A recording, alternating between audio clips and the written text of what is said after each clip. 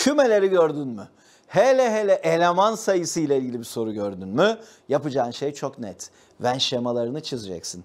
Venn şemalarını çizdikten sonra verilenleri bu şemanın üzerine uygun bölgelere yerleştireceksin.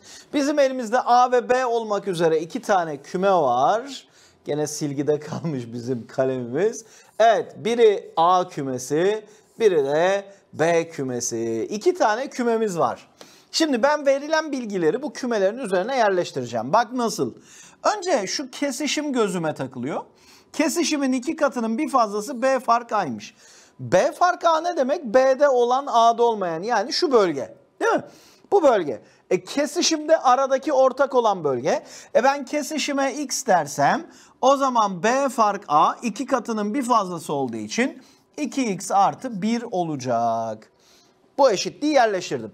Bir taraftan da A kümesinin eleman sayısı B fark A'nın 4 fazlası. E B fark A 2x artı 1. Bunun üzerine 4 eklersem 2x artı 5 yapar.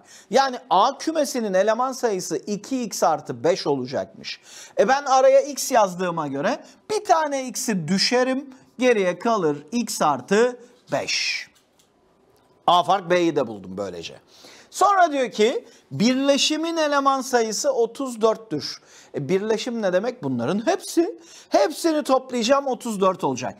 1, 2, 2 de burada 4x artı 5 bir de orada 6 34'müş. 6'yı gönderdim. 34'ten 6 çıktı 28. 28'i 4'e böldüm. X eşittir 7 oldu. Artık x'in kaç olduğunu biliyorum. X'i biliyorsam gerisi çok kolay. Neyi soruyor?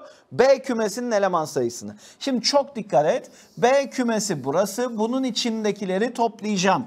X'i 7 buldum. Bu 7'ymiş. 2 katının bir fazlası 2 kere 7 14 bir daha 15'miş. 7 burada 15 burada B'nin eleman sayısı 22 olmuş. Ne kadar kolay. Ne kadar kolay. Kümeleri çiz, verilenleri yerine yerleştir. Bitti gitti.